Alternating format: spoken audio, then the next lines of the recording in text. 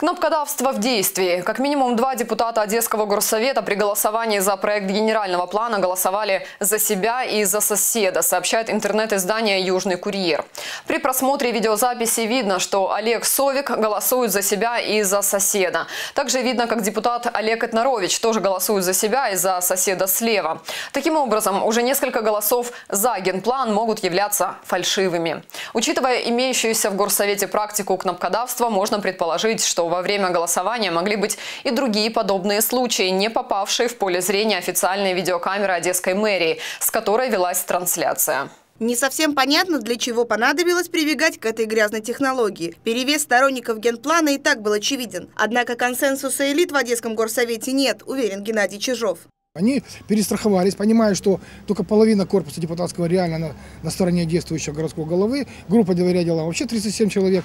Поэтому они всеми правдами и неправдами, подкупом, уговорами, нажимом, соблазнами различными, э, скорее всего, натянули максимальное количество голосов, а остальные пришлось добирать вставлянием карточки за, за себя и за того парня. Они привыкли, к сожалению, некоторые так, так работать. Э, и кроме этого, руководство совета не предпринимает никаких реальных шагов для того, чтобы пресечь кнопкодавство или для того, чтобы привлечь к ответственности тех, кто кнопкодавит. Э, это, по сути, молчаливо одобряется.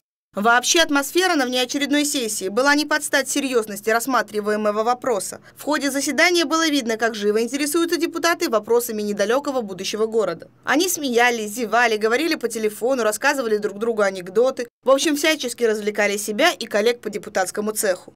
Махингиша своеобразный и э, шарик, мы не знаем где, в каком наперстке оказался. И, и нам открыли сегодня наперсток, а там оказался не генплан, а э, который был в 2011 году презентован, который был со согласован предварительно на комиссии, а оказалось что-то нечто другое. Одесская власть э, подводит к себя под э, понятие нелегитимности. Генплан, в принципе, целенаправленно протаскивали втихаря, Именно потому, что как минимум часть поправок согласительной комиссии там не учтена, и как минимум э, ряд объектов появился там, э, судя по всему, в обход закона, о Аркадии и так далее. Это ставит под вопрос саму юридическую легитимность генплана, и вот это на самом деле э, появление незаконных объектов и неучтение решений согласительной комиссии дает возможность в будущем кому угодно оспаривать данный генеральный план. Анатолий Бойко обращает внимание и на то, что 22 депутата вообще не явились на заседание. Часть из них вполне возможно была в отъезде или на больничном. Но большинство, считает эксперт, не решились пойти против решения, которое проталкивал лично городской глава. А брать ответственность за столь сомнительный документ эти избранники не захотели.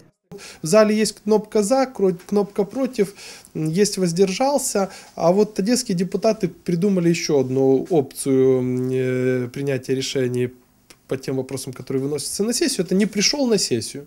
То есть они проголосовали ногами, грубо говоря. Подводя итог, Геннадий Чижов резюмирует. За кажущейся монолитностью городской власти скрывается совершенно иная картина.